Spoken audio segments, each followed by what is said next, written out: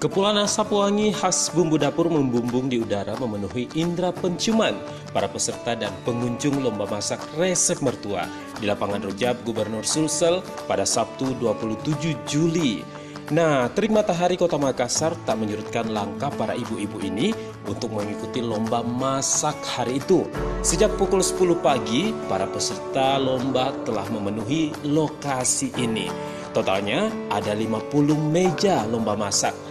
Peserta adalah ibu-ibu muda berpasangan dengan mertua mereka. Nah, sesuai dengan tema lomba ini, dengan dress code kemeja putih, para ibu-ibu ini tampil dengan dandanan terbaik